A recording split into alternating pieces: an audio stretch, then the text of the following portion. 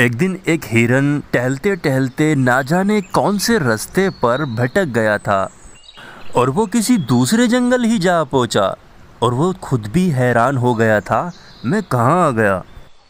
और चलते ही चलते उसे रास्ते में एक और नई हिरन मिली।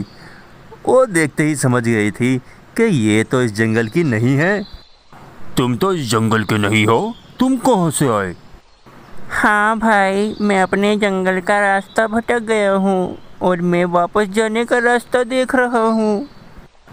ओ तो ये बात है। तो फिर तुम बहुत बड़ी गलती कर रहे हो, क्योंकि इस जंगल में बहुत सारे जंगली जानवर हैं। और वो जंगली जानवर दूसरों को मारकर खा जाते हैं। और तुम्हें उन जंगली जानवरों ने देख लिया तो वो तुम्हें भी मार के खा जाएँगे। मेरा तो तुम्हें बताने का फ़र्ज़ था। मैं चलता हूँ। और इतना कहकर वो काली हिरन वहाँ से चली जाती है। हम्म यूँ ही मुझे डरा रहा है। मैं इस जंगल से अभी नहीं जाऊँगा। मैं पूरा जंगल देख कर जाऊँगा। और ये सोचकर हिरन थोड़ी आगे बढ़ती है और शेर को सोते हुए उसकी पूंछ पर पैर रख जाता है और शेर उठकर ज़ोर से गुर्राता है। हम्म तुम्हारी इतनी हिम्मत कि तुम मुझ पर पैर रखो।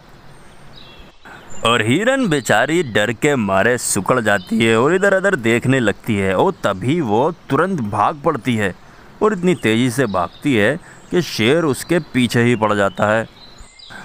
और हिरन भागते भागते अपने जंगल के पास पहुँच जाती है। लेकिन शेर महाराज भी कहाँ कम दौड़ते थे, वो भी उसको मोही मार देते हैं। और शेर हिरन को मारकर वो देखता है उसके जंगल में काफ़ी सारे हिरन हैं।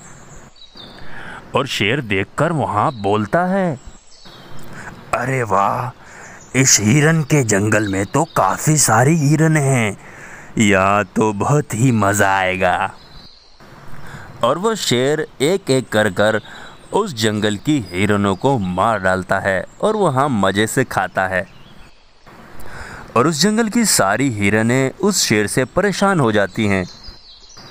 और तभी वो सारी हिरने इकट्ठा होकर उस शेर के पास आती हैं और उस शेर से कहती हैं। वीडियो अच्छी लगी हो तो लाइक करें, हमारे चैनल को सब्सक्राइब ज़रूर करें।